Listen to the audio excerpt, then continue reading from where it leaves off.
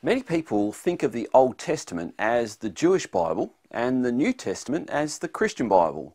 But that's a wrong way to look at the Bible.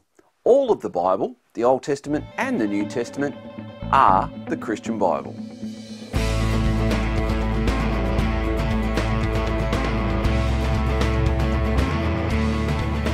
The Bible is different to other religious books because it's a story. It has a beginning, a middle, and the end. Much of the Old Testament, the first part of the Bible, is actually comprised of story or history. And those stories are a part of what we call narrative. They are describing someone's lives, the dealings that they experience throughout their lives.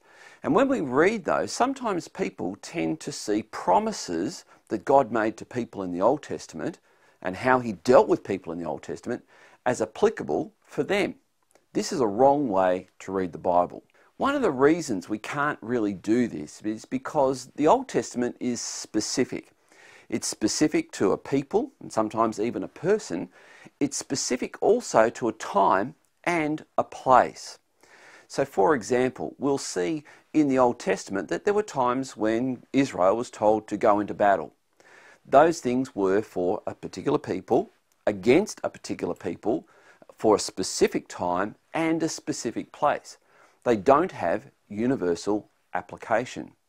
So when we read the Old Testament, we have to be very careful that we're not taking things out of context, such as promises made to people for a particular time, place, and culture, and apply those things to us today.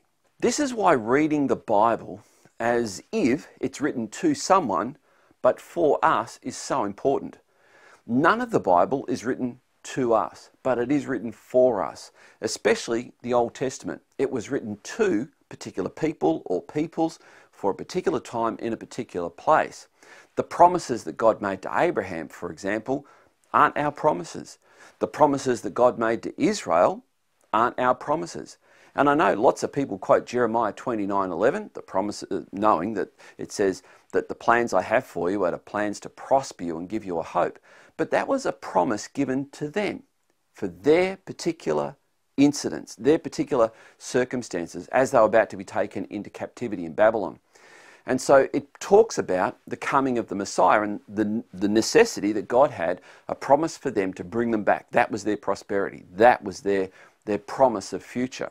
Many people look at the stories of the Old Testament and they allegorize them. That is, they see symbolic meaning in them, another layer of interpretation. But one of the foundational principles of biblical interpretation is that there's one intended meaning for the text of Scripture one intended meaning, not multiple intentions. In other words, when God said something, He had something intended in mind for it. So when we read the Old Testament, we have to try and look over the shoulder or come into the group, so to speak, of those who received that word and hear what they heard. Now, the New Testament describes much of the Old Testament laws as shadows of greater things to come. One of the most graphic examples of this are the animal sacrifices in the Old Testament. They point to Christ in some way.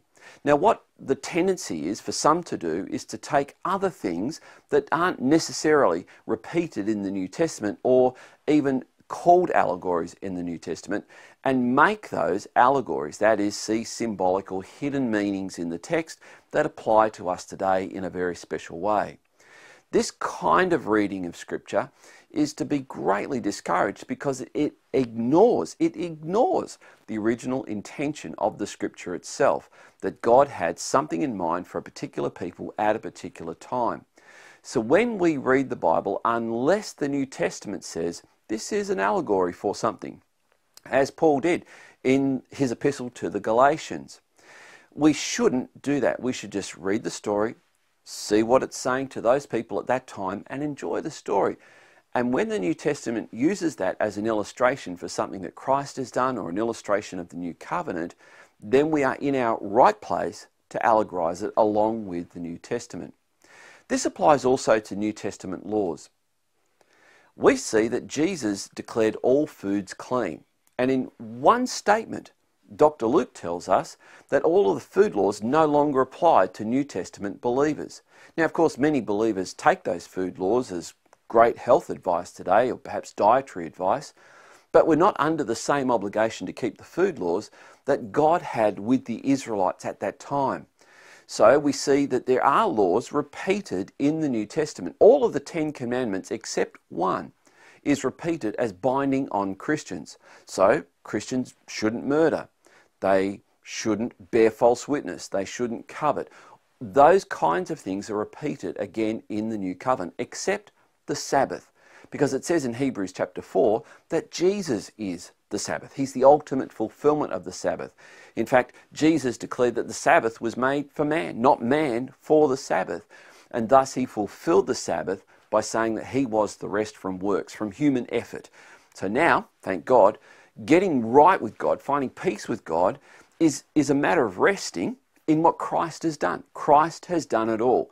There was a very early church heresy, a heresy that the church had to deal with called Pelagianism. The idea that you could add effort to earn your salvation. That was revived later on when it was called semi Pelagianism, the idea that yes, you have to put your faith and trust in Christ, but you also have to apply effort. Those sorts of things we can see do not reflect the teaching of, the, of Christ, the, the gospel. And so when we read the Old Testament, unless a law is repeated in the New Testament, it doesn't apply to us. And that's the point of the Sabbath. We now rest from works. There's nothing we can do to earn our salvation, add to our salvation, add to the work that Christ has already done, because He is our Sabbath rest. If you read the Old Testament in a way that you use the New Testament as a filter, you will, you will draw so much richness, so much treasure out of it. It's important to understand that the Old Testament is the Christian Bible. It, and it's referred to in the New Testament in, in just about every place. To, for example, the last book of the, the New Testament, the book of Revelation, 40% of it is drawn from the, the pictures painted in the first five books called the Pentateuch of the Old Testament. It also draws on the stories of the Old Testament without at least a, an introductory understanding to the Old Testament. You, you're going to struggle to even begin to understand the closing book of the Bible, the book of Revelation. I talk more about this in my commentary on the book of Revelation and also talk about some of the principles for interpreting all of Scripture appropriately. You can find that on my website. But I hope this helps you to read the Old Testament with greater clarity and the way it was intended.